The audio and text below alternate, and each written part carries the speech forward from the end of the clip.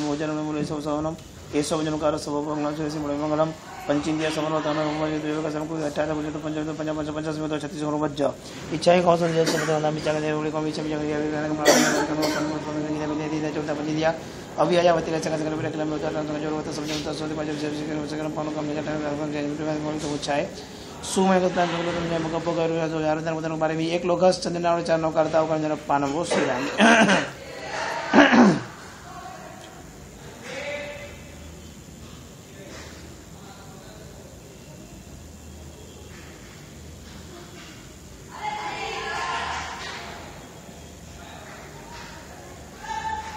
નવોરિયંતાનમ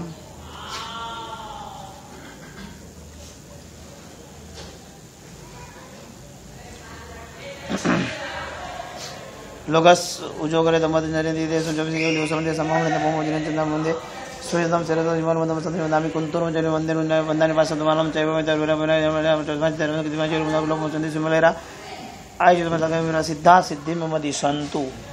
લોક ચંદી સિમલેરા આય જુદ મત ગમે સિદ્ધા સિદ્ધિ મમદી સંતુ નમો રિંદનમ મંગલમ કોનેર મંગલમ ગૌતમ મંગલ તુર જન તર નોદા દેવી વરને મારીને અર્હતે યોગીનાથાય મહાવીરાયતાય ઓમકારમ બિંદુ સૈતન નિત્યમ ધ્યાન યોગીના કામત મોક્ષતમ જો ઓમકારાય નમઃ નમઃ પન્ન કે ચ સૂર્યોજપદ સંસ્કૃતિ નિરુચનસ્કાય શ્રી વીર સ્વામી નમઃ અજ્ઞાનત વિરંતનમ જ્ઞાનંજન સલાકયા નેત્ર મુન્વિતમેન તસ્મૈ શ્રી ગુરવે નમઃ તસ્મૈ શ્રી ગુરવે નમઃ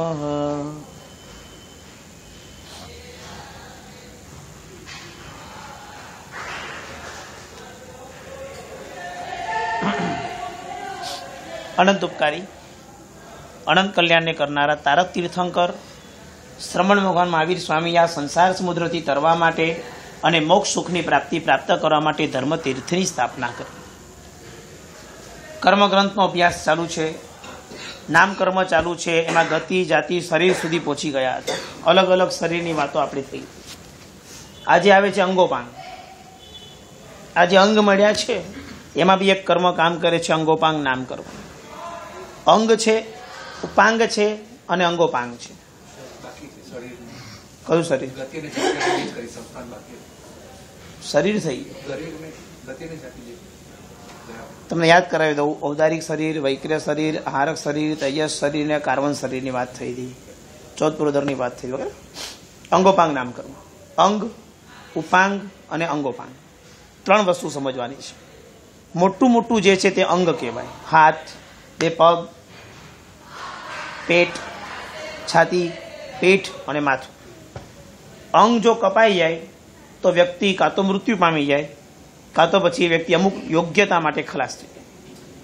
એકમાંથી બેમાંથી એક પગ કપાઈ ગયો, હવે દીક્ષા ન લઈ શકે.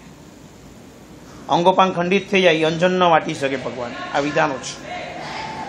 અમુક અવયવો જે મોટા અંગ છે, અંગમાં જો કંઈ પણ પ્રોબ્લેમ થઈ ગઈ, એ ઘણી બધી લાયકાત ખલાસ કરી નાખી છે. છાપામાં વાંચ્યું હશે આજે તમે? ચૌદ વર્ષનો છોકરો ટ્રેનમાં લટકતો હતો ને પડી ગયો ને બે પગ કપાઈ ગયા એના. અંગ કપાઈ ગયા. હવે માણસની જિંદગી શું? તો કે હવે આમ ચાલવાની જિંદગી. જે કર્મને આધીન ચાલશે. પણ અંગમાં જો કંઈ પણ ખોડ કાપણ થઈ, એટલે વ્યક્તિ અમુક ટકાવારીમાંથી માઇનસ થઈ જાય છે. જેને માથા પર દેવું હોય એને દીક્ષા અપાતી નથી. જેના માતા પિતા દુઃખી થઈ જાય એવી અવસ્થા હોય તેને દીક્ષા આપી શકાતી નથી. શાસનની અંદર અથવા દુનિયાની અંદર લોક નિંદા થવાની હોય, એવા કાર્યોને યુક્ત જોઈને દીક્ષા અપાતી નથી. તેમ જે લોકો આંખેથી આંધળા હોય, એને દીક્ષા અપાતી નથી. બે હાથ પગે લૂલા લંગડા હોય, તેને દીક્ષા અપાતી નથી. દીક્ષા લીધા પછી કઈ થઈ જાય એ જુદી વાત છે. દીક્ષા આવું આવી અયોગ્યતાઓને દીક્ષા અપાતી નથી. સમજાયું બરાબર? કારણ કે કોઈના ભરોસે કે કોઈને ભારરૂપ થવા માટે દીક્ષા લેવાની નથી. સંયમ જીવન તો એના માટે અંગીકાર કરવાનો છે કે જ્યાં સ્વની સાધના કરવાની છે. માટે અંગ એક પણ કપાઈ ન જાય. અને ઘણા અંગ જો કપાઈ જાય અમુક પ્રકારે, તો માણસનું મૃત્યુ પણ થઈ શકે છે. અંગ પછી ઉપાંગ, નાની નાની આંગળીઓ, નાક, કાન વગેરે. એમાં જો કોઈ ખોડ કાપણ થાય તો બહુ મોટો પ્રોબ્લેમ ન થાય. એને કારણે થોડી રૂપરેખામાં ફરક પડી જાય. એની મુખાકૃતિમાં ચેન્જ આવી જાય વગેરે વગેરે. અંગની અંદર તો માણસ મરી પણ શકે, કાં તો હેન્ડીકેપ થઈ જાય. ઉપાંગની અંદર એને નાની મોટી પ્રોબ્લેમ આવે. બહુ મોટો પ્રોબ્લેમ ના આવે. એનું એકાદ અવયવ જુદું દેખાય. ક્યાંક પ્લાસ્ટિક સર્જરીઓ પણ કરવી પડે એવી દશા આવે. કેવા કર્મ હશે? ટ્રેનમાં એક માણસનો કાન કપાઈ ગયો. મુંબઈની લોકલ ટ્રેનમાં બોરી સ્ટેશનમાં હિંમત હતી એનામાં. અહીંયાથી લોહી વહેતું હતું. કોઈની રાહ ન જોઈ. કાન પોતાની જાતે પોતાની હાથે ઉપાડ્યો. થેલીમાં નાખ્યો. સીધો હોસ્પિટલ ભાગ્યો. રિક્ષા કરી. હોસ્પિટલ જઈને પોતે કાન હાથમાં આપ્યો કે અમારો કાન છે ને હું આ સજામાં આવ્યો. જે કરું એ કરો જલ્દી. તરત એનું કામ ચાલુ થઈ ગયું. થોડા દિવસોમાં પ્લાસ્ટિક સર્જરી થઈ ગઈ અને એનું કાન પાછું લાગી ગયું. હિંમત રાખીએ તો બધું થઈ શકે. પુણ્યોદય જાગ્રત હોય ને તો બધું ટાઈમ પર મળી જાય. અને પુણ્યોદય ભાંગેલા હોય ને તો ડૉક્ટરની એપોઇન્ટમેન્ટ થયું ને એ કેન્સલ થઈ જાય. આ બધું પુણ્યને જ આધીન ચાલતો સંસાર છે.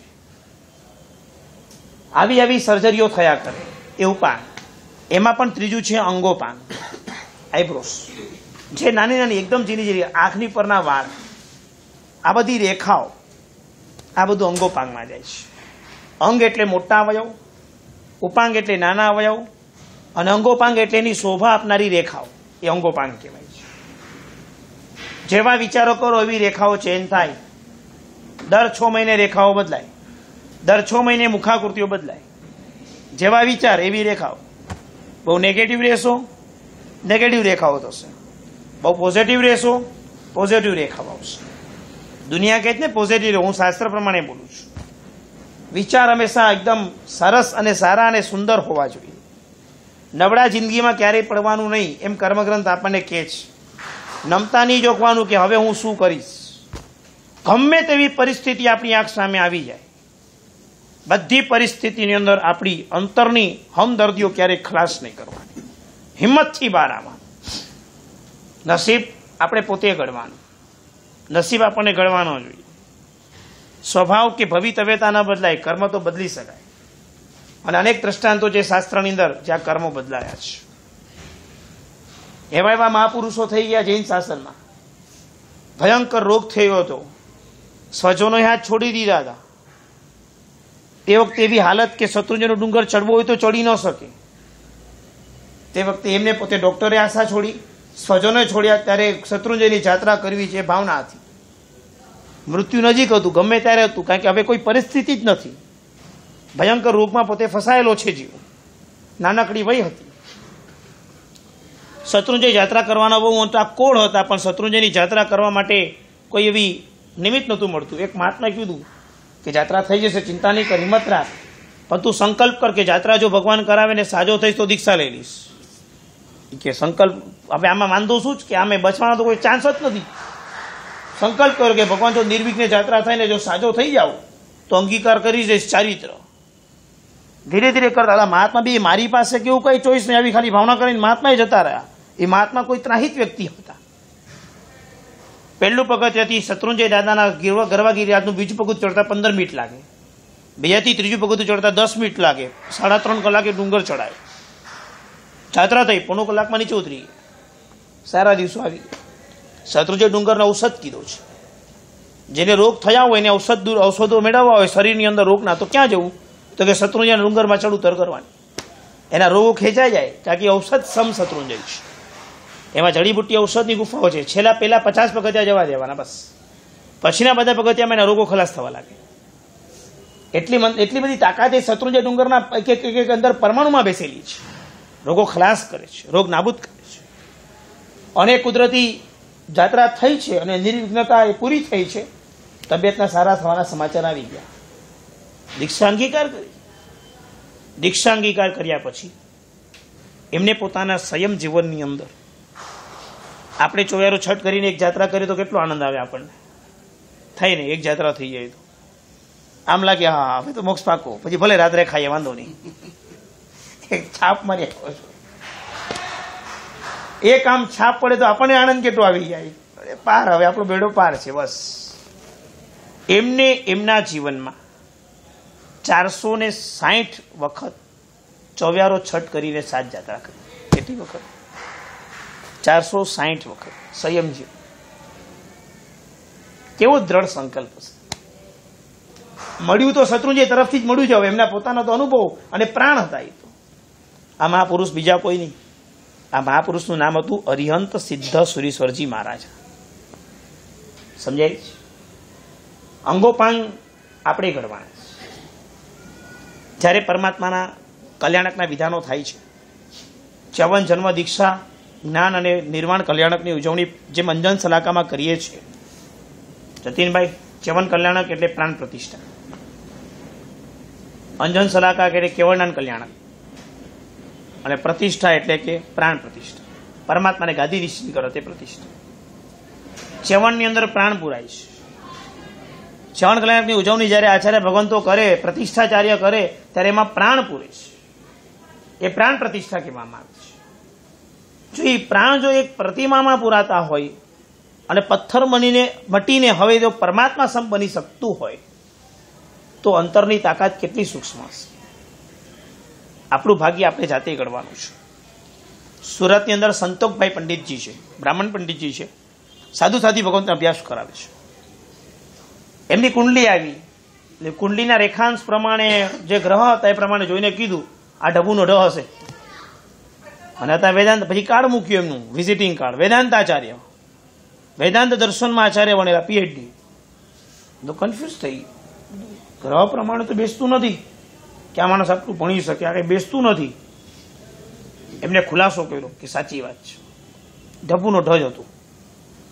પણ બે વર્ષ ગુરુની સેવા કરીશ સેવા દિલથી કરીશ ગુરુએ એક આશીર્વાદ આપી દીધા કે જા તને વાંધો નહીં આવે.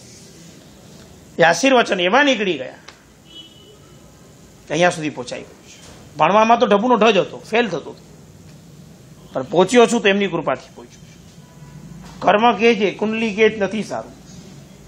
પણ સેવાની તાકાત છે કે એને સર્જન કરી દે છે. આપણું કર્મ આપણે બદલી શકીએ. કેમ ઢીલા પડીએ માટે અંગોપાંગ નામ કર્મમાં અંગોપાંગ એ આ વસ્તુ છે કે આપણી રેખાઓ આપણે ઘડવાની છે. સમજાય બરાબર? ખ્યાલ આવી ગયો?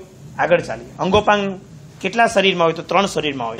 ઉદારી એટલે આપણા શરીરમાં હોય વૈકર એટલે દેવોના શરીરમાં હોય, અને હારા કેટલેલા ચૌદ પુરોધર બનીને જ્યારે જાય છે ને એ વખતે એ લોકોના ત્રણ શરીરની અંદર આ અંગોપાંગ હોય છે. મોઢું, આંખ, કાન, નાક બધું હોય છે. દેવોને માથા પર ટાલ હોય. રિયલ વાળ એક પણ ન હોય દેવોને દેવોના શરીરમાં સાત ધાતુ ન હોય. લોહી ન હોય. માંસ ન હોય. વીર્ય ન હોય. મેદ ન હોય. હાડકાં ન હોય. રસ ન હોય. આ બધી શરીરની અંદરની વસ્તુ સ્થિતિઓ દેવોના શરીરમાં નથી હોતી. નારકમાં પણ નથી હોતી. ખાલી લોકોના શરીરમાં આત્મા હોય અને શરીર હોય. બીજું કાંઈ ન હોય. વાયુ લેવાતો હોય, ઓક્સિજન લેવાય ને છૂટે એનું જીવન ચાલતું હોય બસ. પણ કપાઈ કે છૂલાય તો એને વાગે ખરી કારણ કે આત્મા છે. આત્મા જ્યાં હોય ત્યાં સંવેદન થાય જ, દુઃખ થાય જ, માટે દુઃખ તો ચોક્કસ થાય એમને. પણ આપણી જેમ સાત ધાતુ એમને નથી, એમને ખોરાક ખાવાના નથી, પાચન કરવાનું નથી ટોયલેટ બાથરૂમ કરવાના નથી, એ બધું દેવમાં ન હોય. અસુચિથી દૂર રહેલો ખાલી ભૂખ લાગે, ત્યારે દેવે ખાલી ભાવના કરવાની ઉડુપીના ઢોસા એટલે પેટ ભરાઈ જાય, બીજું કાંઈ નહીં. એમાં જે માટું તો આવું બોલવું પડે ને ઉડુપી ને ઓરિસાન શું છે બધું કાંઈ? મદ્રાસી ને મૈસૂરી, ચાર છે બધું અહીંયા તો.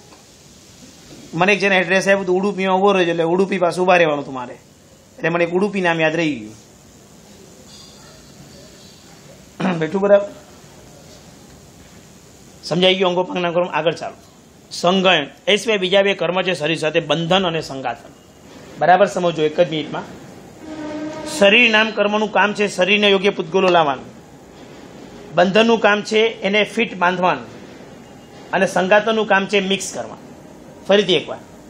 શરીર નામ કર્મનું કામ છે, શરીરને યોગ્ય પૂતગલો દુનિયામાંથી ગ્રહણ કરીને લાવવાનું. બંધન નામ કર્મનું કામ છે, એને જૂના શરીર સાથે નવા શરીરના પૂતગલોને બાંધવાનું. એકમેક કરવાનું. અને સંગાતોનું નામ છે, એને મિક્સ કરવાનું. ફરક કેટલો પડે? શરબતનું એક તમારી પાસે અડધું તપેલું ભરીને શરબત હતું. તૈયાર.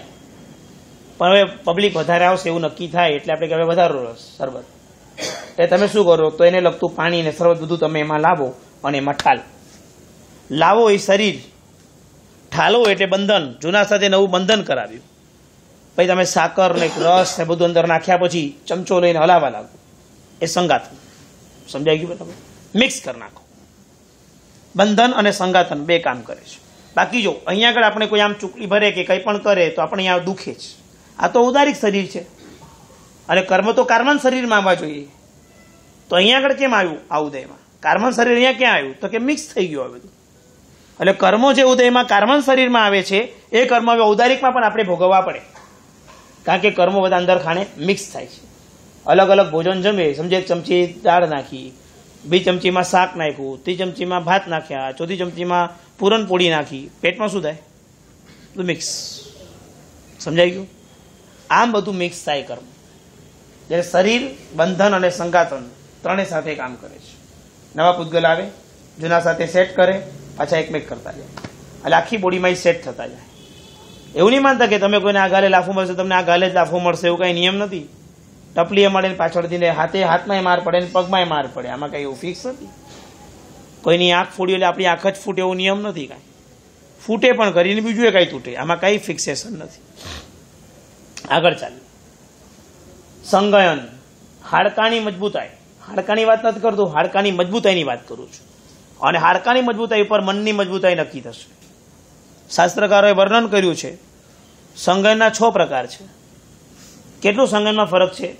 હનુમાન જંગલમાં જન્મ્યા છે. પવન પુત્ર, અંજના સતીના દીકરા. અંજના સતીના આવી કર્મ તો તમે જાણો છો ને, બાવીસ વર્ષનો વિયોગ સહેતી. પવન પુત્ર સતી અંજના રે. ખ્યાલ છે કે નહીં? અંજના સતી. નાનકડી વાર્તા બતાવી દઉં થોડી તો ઊંઘ આવશે પાછી. લગ્ન લેવાઈ ગયા છે. અને આ બાજુ લગ્નના થોડા દિવસો પહેલા અંજના એના મહેલમાં સખીઓ સાથે બેઠી હતી અને એની સહેલીઓ અંજનાને ચીડાવતી હતી કે ભાઈ તારો હસબન્ડ આવો, તારો હસબન્ડ આવો, તારો હસબન્ડ આવો. આવી કોઈ ઘટના હતી. એના એના હસબન્ડને રાત્રે અચાનક એની પત્નીને જોવાનો વિચાર આવ્યો. એ છુપી રીતે એના ઘરમાં પાછળની કોઈ બારી કે ક્યાંયથી બી એના ઘરને જોવા માટે આવે છે હવેલીમાં. કુદરતી ઘટના જો કર્મનું નિમિત્ત કેવું આનું આવવું અને સહેલી આને ચીડાવે છે. અંજના શરમાઈ ગઈ છે અને અંજના કંઈ સામે જવાબ નથી આપતો. તો આ આવું જ્યારે દ્રશ્ય જુએ છે, એનો હસબન્ડ ત્યારે વિચારે છે કે આ કેવી પત્ની છે?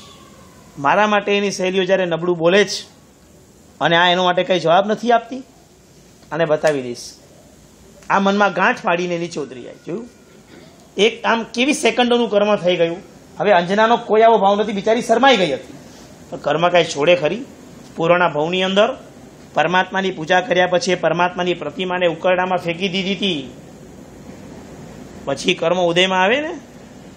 આ કર્મ જો કેવા ઉદયમાં આવે છે? પ્રભુને ગમે તે જગ્યાએ મૂકી દેવા, એવી ગઈ શોભા છે આપણી? પરમાત્મા છે. એને ફેંકી દીધી કચરામાં પરમાત્માની પ્રતિમા. એના વિયોગ જો હવે કેવા થાય છે? લગ્ન થઈને પહેલી જ રાત પતિએ ધક્કો મારીને કાઢી મૂકી ઘરમાંથી. જાતા રમેલમાં આવવાનું નહીં મને મળવા માટે. બાવીસ વર્ષ સુધી પતિને મળતો નથી. બાવીસ વર્ષ. આજે આવશે, કાલે આવશે, હવે આવશે, હમણાં આવશે, આશા આશા. બાવીસ વર્ષ. સતી હતી. કર્મમાં માનતી હતી. એની ભૂલ પણ એને ખબર હતી કે મેં શું ભૂલ કરી. કોઈ ખુલાસો એ જમાનામાં પોસિબલ હતો? એક દિવસ લડાઈ માટે જવાનું છે, બે વર્ષે પાછો આવશે. સામે મળે તો લાત મારી દે જ. અપસુકન થયું? એમ કરીને. બોલો. કેવી હશે આ બધા વચ્ચે એક સતી જેવી, રાણી જેવી વ્યક્તિને આવી લાત પડી હશે. પણ એ જમાનો જુદો હતો. રાત્રિના સમયની અંદર કોઈક દ્રશ્ય જોયું. મનમાં વિચાર આવ્યો. મિત્રએ કીધું કે, અંજનાનો બાવીસ વર્ષનો તમે વિચાર કરો. રાત્રે મળવા આવે છે અંજના હોશિયાર હતી. સાક્ષી રૂપે એક હાથમાંથી અંગૂઠી લઈ લીધી.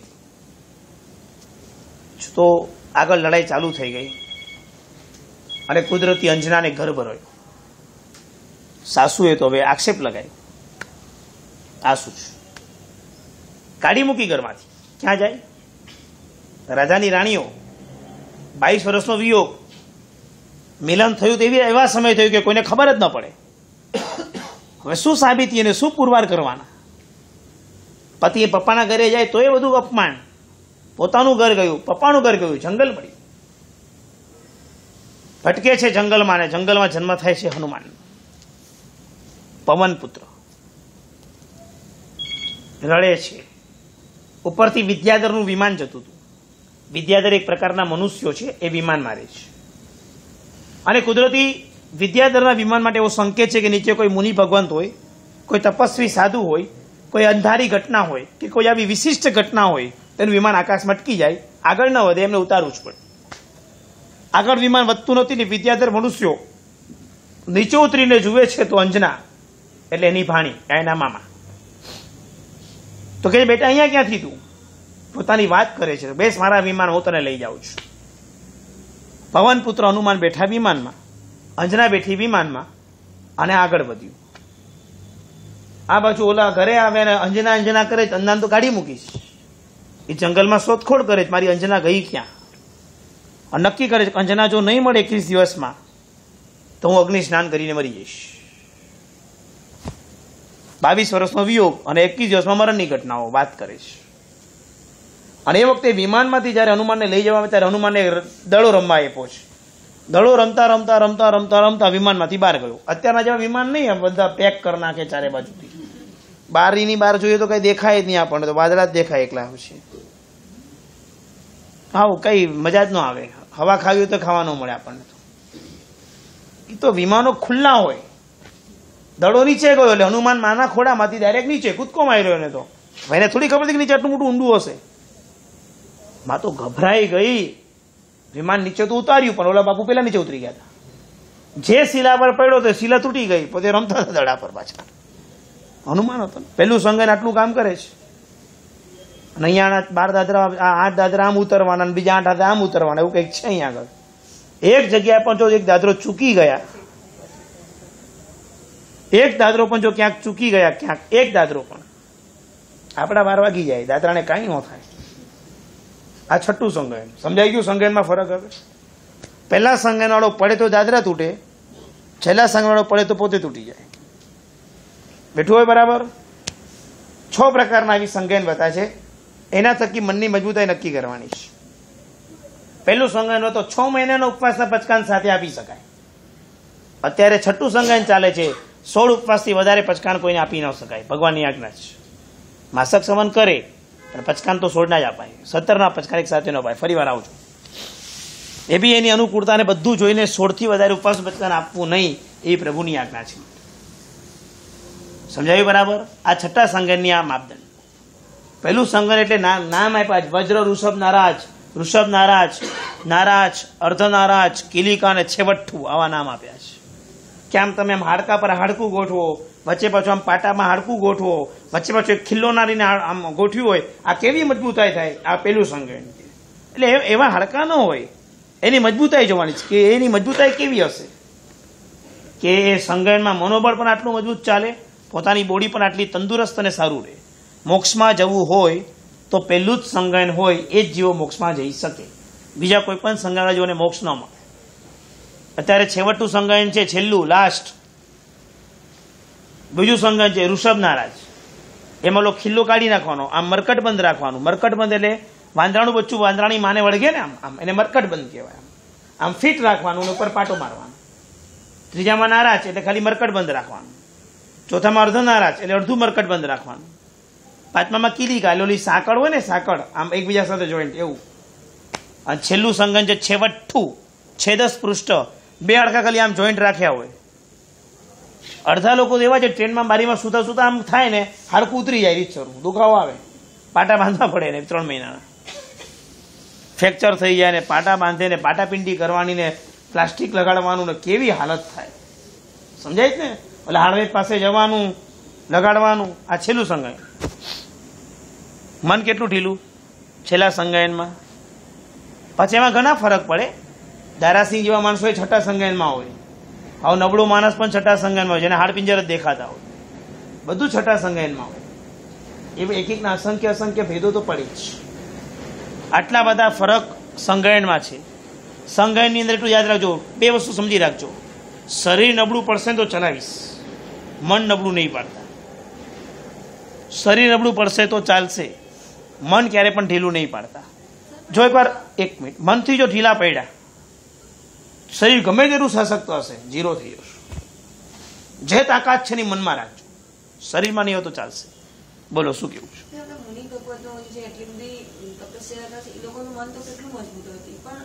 એનું છઠ્ઠું જ અત્યારે બધા જો છઠ્ઠા સંજ્ઞાનવાળા. કોઈ પહેલા બીજા ત્રીજા ચોથા સંજ્ઞાનવાળા કોઈ જ નહીં. છઠ્ઠું જ. તો પછી એનું કનેક્શન કેવી રીતે મનની હારે તમે કીધું ને કે છઠ્ઠું સંજ્ઞાનું કનેક્શન મનની હારે છે. મન નબળું હોય. એટલે દરેક સંગન મન સાથે કનેક્ટેડ છે. છઠ્ઠા સંગમ એટલું તમને કહી રહ્યો છું કે શરીર નબળું પડે તો વાંધો નહીં, મનથી ઢીલા નહીં પડતા. બધા રોગો મેન મનથી ઘૂસી જાય છે. તો એ ડાયાબિટીસ એનાથી આવ્યું કે બહુ તું સાકર ખાતો હતો સાકરથી કાંઈ ડાયાબિટીસ આવતું હશે? જેટલું કામ કરી એનર્જી વપરાય તો સાકર ખાય, એમાં ફરક પડી ગયો. એટલે માનસિક ચિંતાઓ કરી કરીને શરીરમાં રોગ ઘુસાડી દો છો. શા માટે ઢીલા પડો છો આટલું બધું? પડશે એવા દેવાશે, બસ એક જ સિદ્ધાંત રાખવાનો. પડશે એવા દેવાશે. જે સમય આવશે ત્યારે ફોડી વળશો. અત્યારે શું ચિંતા કરવાની? સારો સમય હોય તો ચારસો નો ચાલીસ હજારની સાડીએ પહેરીએ. નબળો સમય હોય તો ચારસો નો સાલો પહેરશું. ફરક શું પડે છે? અત્યારથી અત્યારે ચાલીસ પહેરું ને કાલે ન મળી તો ન મળે તો કઈ વાંધો નહીં. રડો જ શું કામ પણ એમાં આટલું? વિચારો કરી કરીને આટલા બધા કેમ દુઃખી થવાનું? પડશે એવા દેવાશે મનને સ્ટ્રોંગ બનાવો. કાંઈ અટકતું નથી. પુણ્ય સાથે હશે તો બધું સીધું ચાલવાનું છે. અને પુણ્ય પરવારશે તો બધી બાજુથી પરવારવાનું છે. તો શું શું ચિંતા કરીને આવે બેસવાનું આટલું બધું? નહીં. ઢીલા નહીં પડો. જેને પહેલાં સુખ જોયું હોય ને પછી દુઃખ આવે ને એને બહુ તકલીફ પડે. જેને પહેલાં સુખ જોયું હોય અને પછી દુઃખ આવે ને એને બહુ તકલીફ પડે. કારણ કે દુઃખમાં સેટ થવું બહુ ટફ છે. પણ જેને પહેલાં દુઃખ જોયું હોય અને પછી સુખ આવે ને એને થોડુંક સેટ રહે.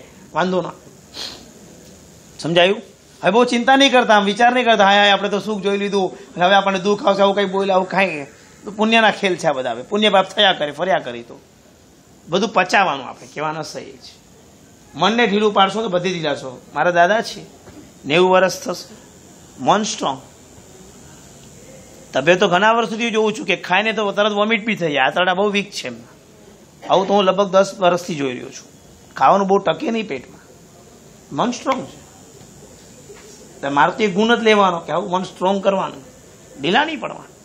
શરીર શરીરનું કામ કરે. આપણે મનથી કામ લીધે રાખવાનું. મન કેમ ઢીલું પડે આપણે મન ઢીલું પડશે તો બધેથી ઢીલા થઈ જશો. આજે બહુ થાકેલો છું. અંદરથી થાક છે રીત અવાજ પણ જો બેસેલો છે. મનમાં ત્રણ ચાર વખત વિચાર બી આવ્યો કે ક્લાસનું શું કરશું ના પાડશું. આરામ જરૂરી હોય છે ક્યારેક. કારણ કે આખી રાત જાગ્યા હોય, અંજનના અંજનમાં થાક થોડો વધારે લાગે. અને તરત એના પ્રમાણે પાછા દ્રવ્યો પણ લેવા પડે. નહીં તો પછી થોડીક શરીરની અંદર પ્રતિકૂળતાઓ રહી જાય. પણ મેં કીધું, નહીં, આજે જવું જ છે. તમારું મોઢું જવું જ છે બધાનું ખોવાઈ જાવ તો ક્યાંક પછી મને છોડીને તમે હું એક વખત નો ડર લાગે મને. હું નહીં ગયો ના તો લોકો ખોવાઈ ગયો તો બધા વેરેલા ઓલા મોતી વેખરાઈ જાય. તો ભેગા ખરા બહુ ટફ છે આ બધા તો. અને પાછું કંઈક આજે તો એક સારો પ્રસંગ બી છે, એટલે મેં કીધું, હા, એટલે આજે તો ન જ છોડાય. આજે તો આપણું બર્થડે ને બધું શું કહે કંઈક એવું બધું છે. તમારું આજે એનિવર્સરી નહીં મનાવીએ તો તો પછી બધા નારાજ થઈ જશું. આવું જ છે મેં કીધું. સમજાયું બરાબર? સંગાયન સમજાઈ ગયા. હાડકાની મજબૂતાઈથી આપણે એટલું જ શીખવાનું, મનની મજબૂતાઈ બસ. ગમે તેવા કર્મ ઉદયમાં આવે, ઢીલા નહીં પડતા ક્યારેય પણ. ઠીક છે, આવ્યું છે, ભોગવી લઈશું શાંતિથી. એનો ટાઈમ હોય. દોઢ વર્ષ બે વર્ષ અઢી વર્ષ ત્રણ વર્ષ નીકળી જવા દેવાનું. લાઈફ ટાઈમ ચાલે તો લાઈફ ટાઈમ ટાઈમ નીકાળ નવા કર્મ નહીં બાંધ, જૂના પૂરા કર નેક્સ્ટ બધી અવસ્થામાં સેટ થવાનું. દંડલોકની ગાદી પર બી સૂતા આવડવું જોઈએ અને રૂ વગરની એલી ખાડા ટેકરાની ગાદી પર બી સૂતા આવડવું જોઈએ.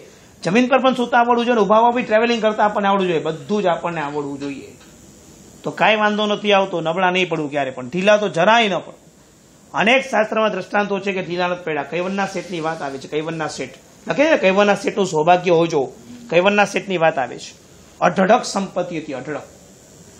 બહુ ભણ્યો, સારું, બહુ સરસ ભણ્યો. પણ બિચારાને સંસારમાં જીવતા જ ન આવે લગ્ન થઈ ગયા તો એ ભણભણ કરે. પત્નીએ વેશ્યાનગરે મોકલી દીધો. વેશ્યામાં રંગ લાગી ગયો, પત્ની ભૂલી ગયો. એવી દશા થઈ કે રોજ માતા પિતા તો સોનું ચાંદી મોકલે છે ને વેસ્યા બહુ હોશિયાર હતી. બધું એની પાસેથી લેતી ગઈ, લેતી. આ બધા મા બાપ મૃત્યુ પામી ગયા. અગ્નિ સંસ્કાર કરવા પણ નથી આવ્યા. ભૂલી ગયો. પત્ની હોશિયાર હતી ને સંસ્કારી હતી. બધું ધન જતું રહ્યું. એની પોતાની પાસે પોતાનું ધન પડેલું હતું. પણ મોકલ્યું. વાસનો મોકલ્યા. વાસનો મોકલ્યા એટલે વેશ્યા સમજાઈ ગઈ કે આનું ઘર ખાલી થઈ ગયું છે. એટલે વેશ્યા બહાર ફેંકી. ઘરની બહાર કાઢી મૂકી આવી. હવે જાય ક્યાં? એટલે ફરતો ફરતો પોતાના ઘરમાં આવ્યો. એટલે પત્નીને પૂછે, તું કોણ છે? એટલે પત્ની કે હું તમારી પત્ની છું. કે શું વાત કરે છે કેટલા ટાઈમ આપણે લગ્ન કર્યા? દસ વર્ષ થયા ઓહો સોરી હું તો ભૂલી ગયો. મારા માતા પિતા ક્યાં છે? તો ગુજરી ગયા કે? તે જાણ ન કરી? તો કે જ્યાં કેવડાવ્યું તું? તમે આવ્યા નહીં. રડે છે ચોધારા ક્યાં મારી હવેલી? આ દુર્દશા થઈ ગઈ. બધું ગયું.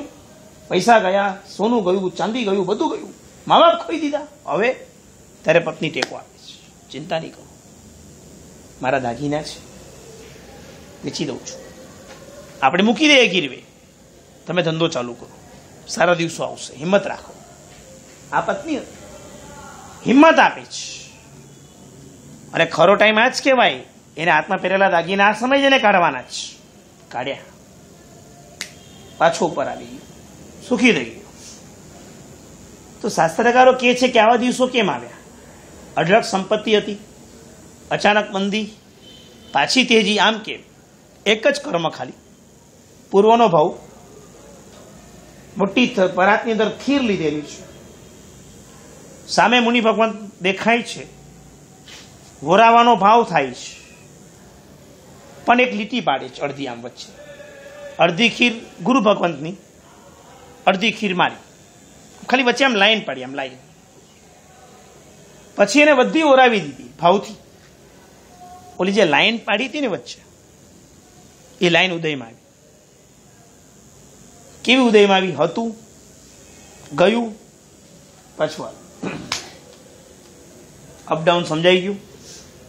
કર્મગન સમજાઈ ગયા બરાબર એવા તો ઘણા વ્યક્તિઓ કીધું છે એમના જેવું જ કેમ સૌભાગ્ય મળવાનું કીધું એવું તો જિંદાલ શેઠનું પણ થયું હતું. મેં આ વાત કીધું. પછી એમના જેવું જ પુણ્ય. પુણ્ય. પ્રસિદ્ધ બનેલું દ્રષ્ટાંત હોય ને આટલું મોટું. અઢળક હતું બધું ગયું અને પાછું એટલો ફાસ્ટ ઉપર આવી ગયું. એ દ્રષ્ટાંત જગા જગ જાહેર બન્યું છે. જિંદા શેઠ પાછળથી એટલા સુખી નથી બન્યા. એ તેના દીકરાઓ દીકરાઓ રાજા થઈ ગયા એમને દીક્ષા લઈ લીધી. જ્યારે આનામાં તો આખું અપથી ડાઉન ડાઉનથી પાછું એટલું અપ દેખાયું છે. કે તમે નથી આપણે પેલો ક્લાસમાં સ્ટાર્ટિંગમાં શ્લોક બોલે છે મંગલમ ભગવાન વીરો, મંગલમ ગૌતમ પ્રભુ, મંગલમ સોલભદ્રાદ્યા તમે આ બધું સાંભળો છો? હું તો શ્લોક પૂછીશ હું આટલા એક વર્ષથી મંગલ કરું તો તમને પછી બીજો શ્લોક કયો બોલું છું? હવે પરીક્ષા. ગપ્પા. કોણ બોલ્યું? એટલે સૌથી છેલ્લો બોલું છું. નમો દુર્વાર રાગાથી વૈરીવાર નિવારીને આ શ્લોક ચાલે છે. પહેલો શ્લોકમાં જો, વીર પ્રભુ મંગલ છે કેમ બીજા મંગલ નથી? તો કે, ના, એવું નથી. પણ એમાં કારણ છે કે આપણે પ્રભુ મહાવીરને લીધા. કેમ ગૌતમ પ્રભુ મંગલ છે તો બીજા કોઈ મંગલ નથી? કેમ સ્થુલભદ્રજી જ મંગલ છે, બીજા કોઈ મંગલ નથી? એવું? ના, એવું નહીં. એની પાછળ રહસ્ય છે કે પ્રભુ વીર નીચ કુળમાં હતા અને ઉચ્ચ કુળમાં આવીને મોક્ષ સુખી બધા બરાબર છે? ગૌતમ પ્રભુ અભિમાનના શિખર પર હતા. ભગવાને આવું આમ આમ કરતા હતા. અને જ્યારે ભગવાનનું સરનું મળ્યું, એટલા જ વિનયના ભંડાર થયા. એટલે એક બાજુ આમ દોષના ટોપલાના શિખર પર હતા. ઉતર્યા તો એટલા નીચે ઉતરી ગયા કે ગુણના શિખર પર ચડી ગયા.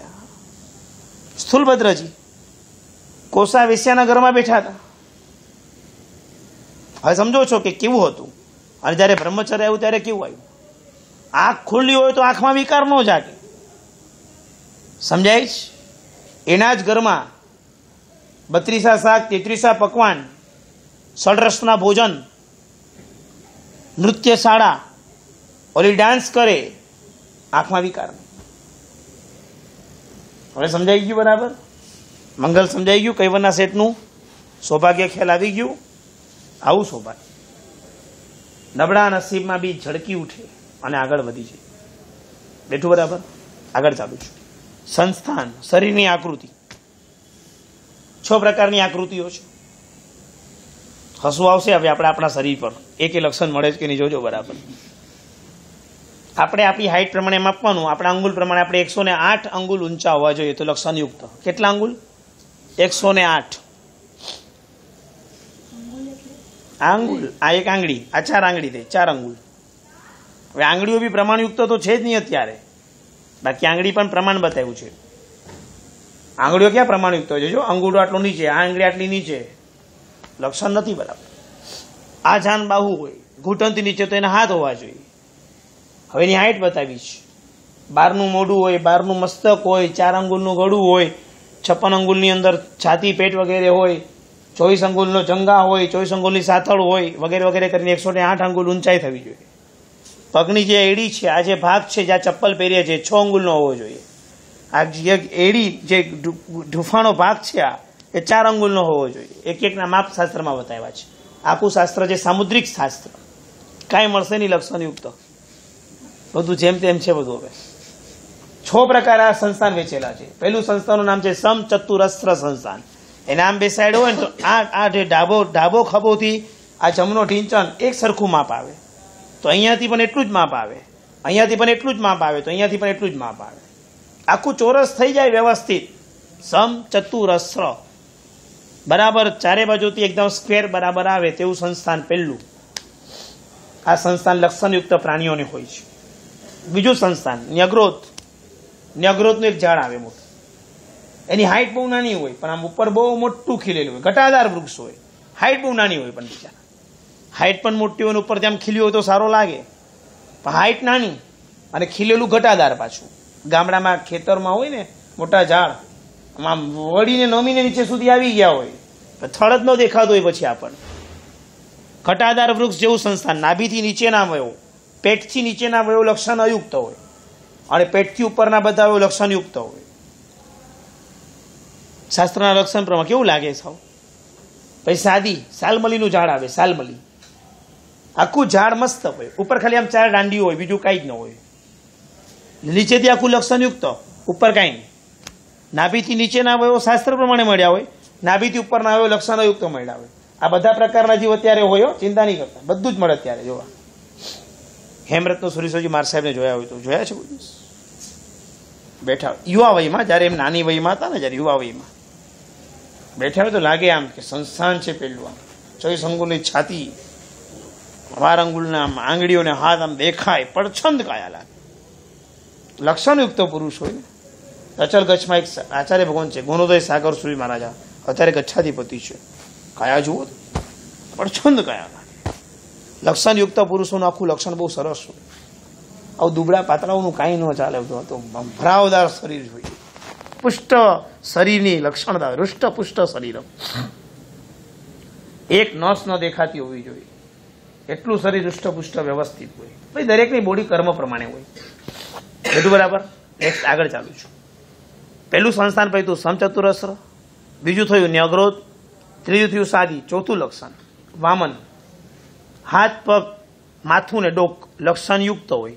બાકીનું લક્ષણ વગરનું અને કુબ્જ, હાથ, પગ, મસ્તક અને ડોક લક્ષણ અયુક્ત હોય, બીજું લક્ષણયુક્ત હોય. એટલે વિચિત રાખવું. અડધું લક્ષણવાળું, અડધું લક્ષણ વગરનું. દરજીને ત્યાં કપડાં સીવડાવવા ગયા હોય.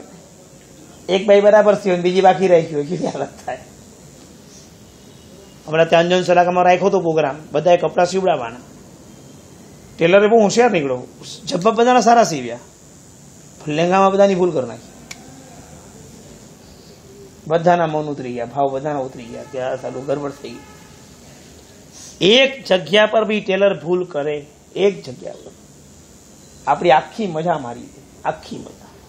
પછી અમારા બહેનો તો ફેશન ડિઝાઇનર શું હોય? ફેશન ડિઝાઇનર શું કહેવાય છે એફડી ફેશન ડિઝાઇનર રાખ્યું હોય ને એમાં પાછું તો કેટલું એ લોકોનું તો રહસ્ય હોય. ટેલર તો લો જ હોય છે, ઓલો આપણે આપણા જેવો સાદો જ હોય, પણ નામ મોટું હોય ફેશન ડિઝાઇનર એક એક સેન્ટીમીટરના માપ આપવાના બધા. સારું ભાઈ. એક જગ્યાએ બીજો શરીરનું કપડું બગડ્યું, ઊંચું નીચું થઈ ગયું તો જોકર જેવા લાગશું. સંસ્થાન કેવા છે? છેલ્લું હુંડક. બીભત્સ સંસ્થાન હોય, વિભત્સ એકે ઠેકાણાવાળું ન હોય.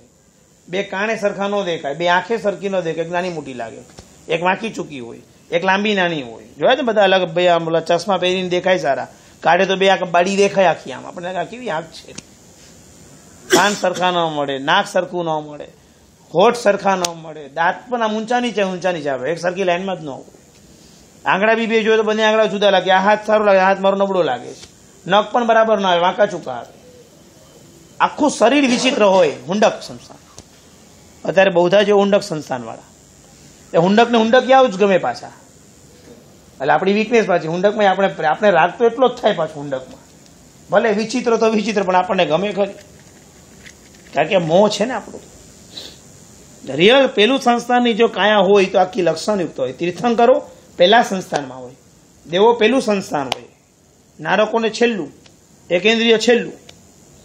સમજાય બરાબર? આપણે બધાને ગમે તેવું હોઈ શકે છે. આ બધા સંસ્થાનના આકાર છે. બેસી ગયું બરાબર? સંગન થઈ ગયું, સંસ્થાન થઈ ગયું. વર્ણ, કલર. પાંચ પ્રકારના કલર છે. મેન તો પાંચ. પછી બધા મિક્સ કરો તો કલરનો મોટો બોક્સ થઈ જાય.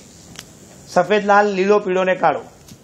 શરીરની અંદરની, આંખની અંદર સફેદ રંગ મળ્યો છે આપણને. નસ બધી લીલા રંગની છે. લોહી લાલ રંગનું છે.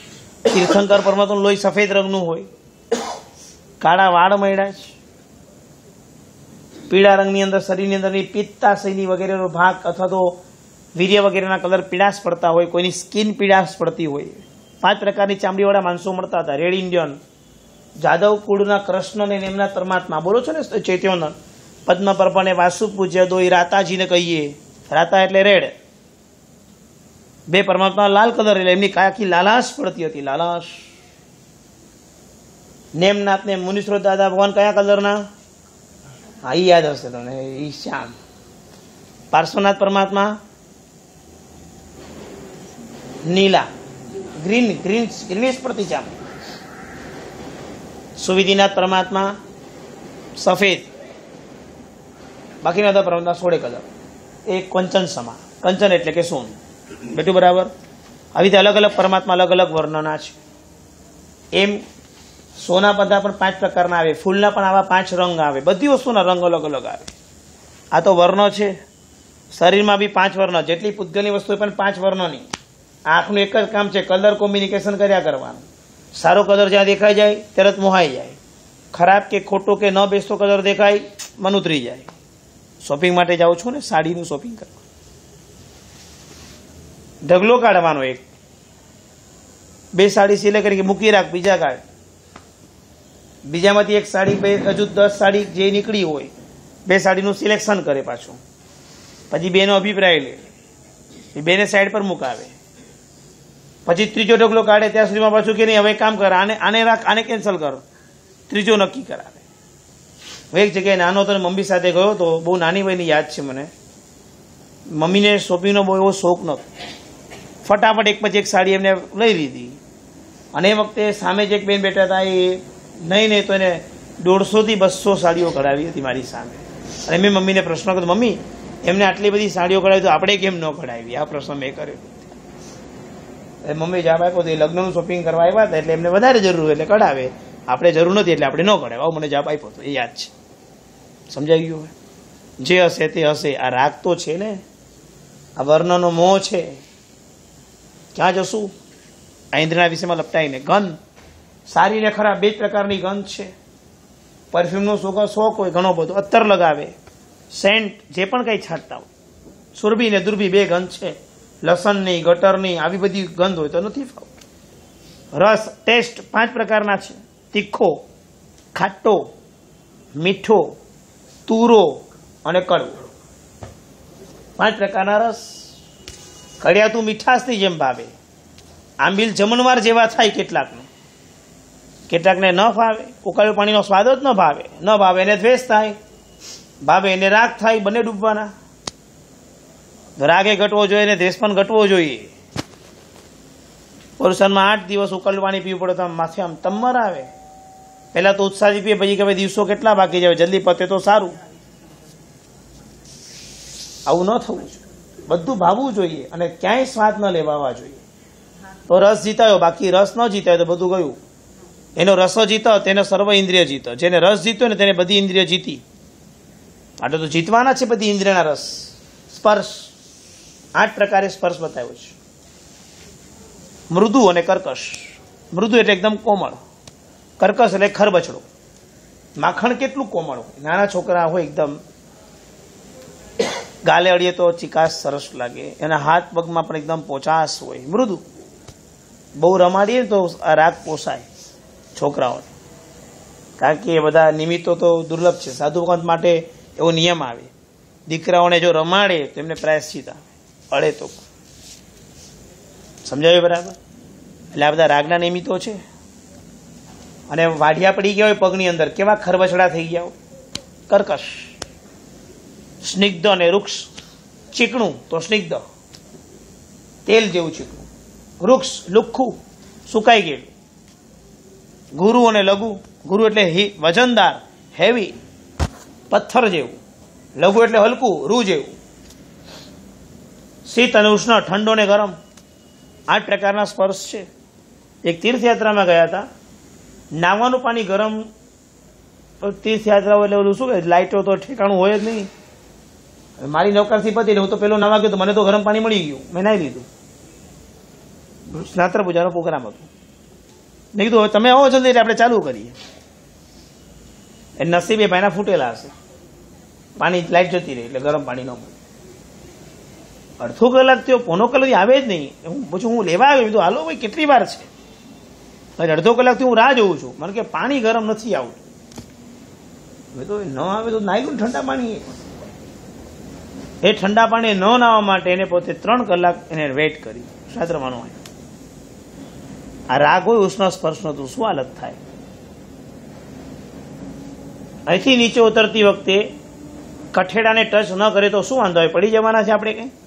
અનાધિકાળથી સ્પર્શ એવો હોય આ મળ્યા વિના ન ચાલે આપ અડવું ગમે એટલે આમ, ગમે જ. આ ઇન્દ્રિયોને પોષવાની નથી આ બધી ઇન્દ્રિયોને. અને જો શરીરમાં બધા જ પ્રકારના સ્પર્શ છે, કોક લીસું છે, ક્યાંક વાડિયા વગેરે ખરબચડા છે, કેટલાક લોકો બોલે તો વજન પડે કેટલાક બોલે તો જરાય વજન જ ન પડે, એની વાત હવામાં ઉડી જાય. કેટલાક મીઠું બોલે, કેટલાક તો કર્કશ બોલે, એમ બંધ કર ભાઈ, કંટાળ્યા તારાથી. કેટલાક તીખું બોલે, ઓલા કૂતરા ભસતા હોય ને એમાં ફરક હોય. કોઈ કૂતરું ભસે તો આપણે ન ગમે, કે વાગે જ કાનમાં, બહુ તીખું ભસે છે. કેટલાક ભસે તો આપણને ગમે, સારું ભસે છે, એનો અવાજ સારો છે. રાગ ને સ્વર તો બધાને કર્મ તો છે જ ને. કેટલાકના અવાજ એવા હોય કે જે કર્ણપ્રિય લાગે, અને કેટલાકમાં લાગે બહુ વાગે જ કાનમાં. ગાડીની હોર્ન વાગતી હોય ને, જો એ ઓલું એસ વન ડબ્બો કે વન ડબ્બો હોય આપણો, અને એન્જિનની જો પાસે ડબ્બો આવી ગયો તો પતી ગયું. રાતો હું બગાડે આપણી. કાકી તો જેટલા સ્ટેશન એટલા હોર્ન મારે. એટલે ભગવાન તો પ્રાર્થના કરે, ભગવાન ડબ્બો મારો આગળ ન રાખતા વચ્ચે રાખજો. નીકળતો તો આવી જ પ્રાર્થના હોય ને બધી આપણી. એટલે જેને કારણે ઊંઘ ડિસ્ટર્બ ન થાય અમારી. કે આ બધા હું ટ્રેનમાં બધાને સાંભળું આ બધું બોલનાર, હું બધું શીખવું બધું. તો અમને તો પડી એટલે ઊંઘ આવે. ફોન વાગે કે આખો ઢોલ નકાર વાગે, અમને કાંઈ ખબર ન પડે. પણ બધા વિકલ્પો ઇન્દ્રિયને પોષ્યા હોય ને એના હોય છે. ગતિ, જાતિ, શરીર, અંગોપાન, બંધન સંગાતન સંગયન, સંસ્થાન, વર્ણગંધ રસસ્પર્શ આટલા કર્મો પત્યા છે. આનું પૂરી વ્યાયગતિ બાકી છે, પણ પાંચ મિનિટ બાકી છે. તમને સમય આપવાનો છે આજે. માટે પાંચ મિનિટ પહેલો તમને ક્લાસ પૂરું કરું છું. અને આજે આપણા ક્લાસનું એક વર્ષ પૂરું થયું. બરાબર? આનંદનો વિષય છે.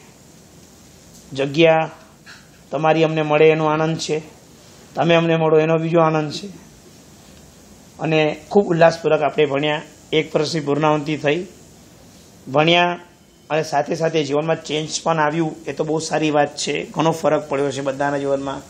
સમાચાર બધાના બહુ પોઝિટિવ પણ આવ્યા છે. એટલે ખૂબ આનંદ થયો છે મને.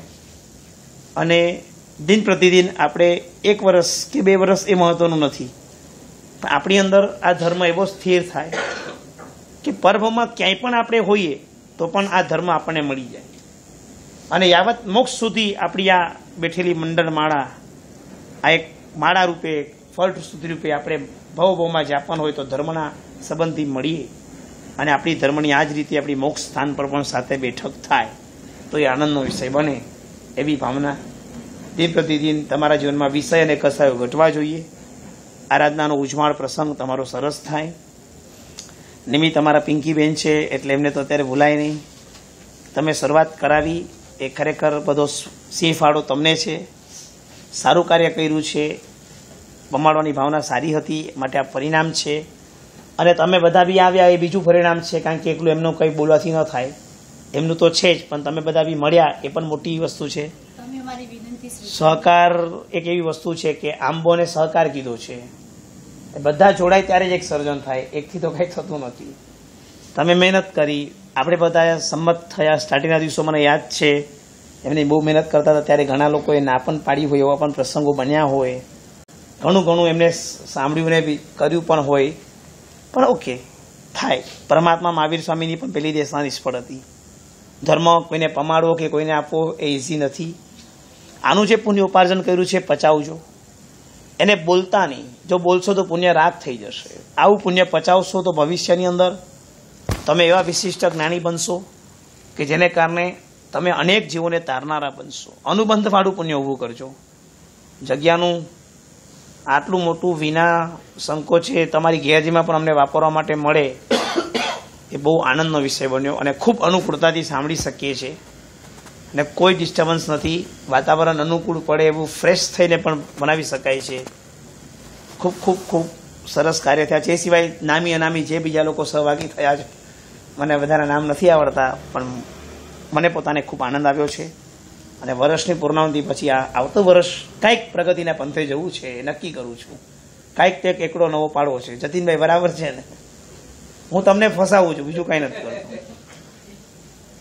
તમને ફસાવા, વાંધો ના. કાંઈ ફસાવાનું નથી આમાં શું ફસાવાનું બસ તો પછી બિંદે હા પાડો ને પછી કાંઈક નવું આપણે આ વખતે નવું આપણે વર્ષમાં કાંઈક નવું કરશું એવો આપણે સંકલ્પ કરીએ બસ અને આપણો સંકલ્પ પૂર્ણાવતી પામે એવી ભાવના રાખી જનમ ઈચ્છાય દુકડમ સર્વસંબંધનમ જન્મ જતી શાસ્ત્રમ ઉત્થાપન નવરદાન વદાન મુજાનું આજનું વર્ષ પૂરું થયું છે એટલે પચકાન તો એવું આપું કેવું આપું બોલું આજે તમારી જોઈશું પચકાન તમારે છે દારૂ ધારી લો બસ એક દિવસ આજે તમે જે ધારો ધારો જલ્દી ફટાફટ. બે એક મિનિટ પચકાન આપું છું આજે તમારે ધારવાનું.